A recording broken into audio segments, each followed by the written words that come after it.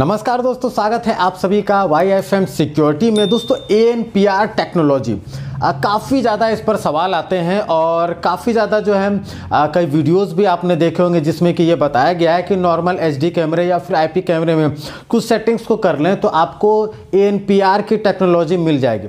But ये बात बिल्कुल से सत्य नहीं है। इस पर एक बहुत बड़ा कारण है, क्योंकि ए जो होता है ऑटोमेटिक नंबर प्लेट रीडर या फिर आपका लाइसेंस प्लेट रीडर जो ये टेक्नोलॉजी है, इस टेक्नोलॉजी से इनबिल्ट जो कैमरे होते हैं, उसमें काफ़ी ज़्यादा सॉफ्टवेयर इंप्लीमेंट होते हैं। और अलग अलग चीज़ें इंप्लीमेंट होती हैं, जिस कारण से वह व्हीकल के नंबर प्लेट को रीड कर पाते हैं, उसको डेटाबेस में सेव कर पाते हैं। और इसके साथ साथ डेटाबेस में सेव तो कर लिया। अगर मान लीजिए कि जो नंबर प्लेट है, वो अलग तरीके से लिखा हुआ हो, दूसरे लैंग्वेजेस में लिखा हुआ हो तो ऐसी स्थिति में क्या करेंगे? तो इस कारण से कंपनी ने उसमें अलग अलग तरह के लैंग्वेज भी इंप्लीमेंट किए हुए हैं। तो काफ़ी चीज़ें हैं। आज समझ लेते हैं कि ए टेक्नोलॉजी काम कैसे करती है। इससे काफ़ी आसानी हो जाएगी। आप सभी को यह समझना कि आखिर कौन से कैमरे को परचेज करें और आखिरकार ये बिल्कुल अलग टेक्नोलॉजी कैसी है। देखिए ए एक टेक्नोलॉजी है, जिसके माध्यम से आपका वो कैमरा जो है व्हीकल के नंबर प्लेट को, यानी कि vehicle registration mark V R M इसको कहते हैं शॉर्ट फॉर्म में, उसे आइडेंटिफाई कर पाती है और उसे सेव करके रख पाती है।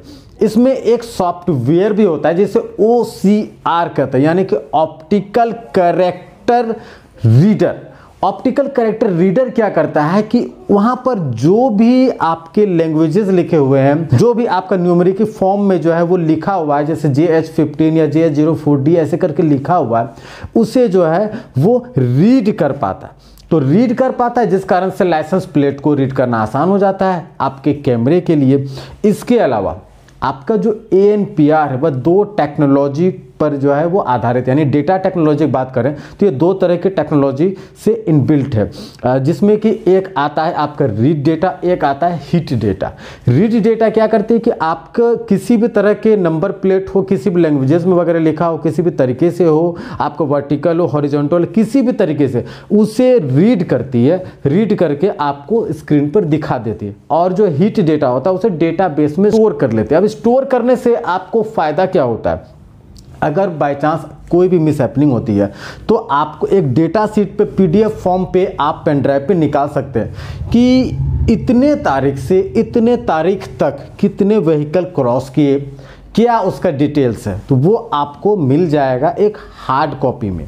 पीडीएफ में जिसे आप प्रिंट करा सकते हैं कहीं पर भी तो वो आपको सुविधा देती है एएनपीआर टेक्नोलॉजी इसके अलावा भी मल्टी लैंग्वेज सपोर्ट फीचर भी अवेलेबल है, जो मैंने अभी अभी आपको कहा कि मान लेते चाइनीज़ में लिखा हो, या कोई लोकल लैंग्वेज में लिखा हो, तमिल में लिखा हो, तेलुगु में लिखा हो तो कैसे पकड़े? तो उस हिसाब से डिज़ाइन किया गया। अलग अलग कंट्री के लोकल लैंग्वेज के हिसाब से इस सॉफ्टवेयर को कंपनी डिज़ाइन करती है, चाहे वो हिग विजन हो डवा हो, या अदर ब्रांड के कैमरे हो। अगर मैं बात करूँ मॉडल नंबर को तो एक विजन के मैं मॉडल नंबर मैं आपको बता देता हूँ। D S dash two C D seven A four six G O slash P dash I Z H S एक और model number D S dash two C D seven zero four six G O slash E dash I H S Y इसमें अलग अलग और भी series है।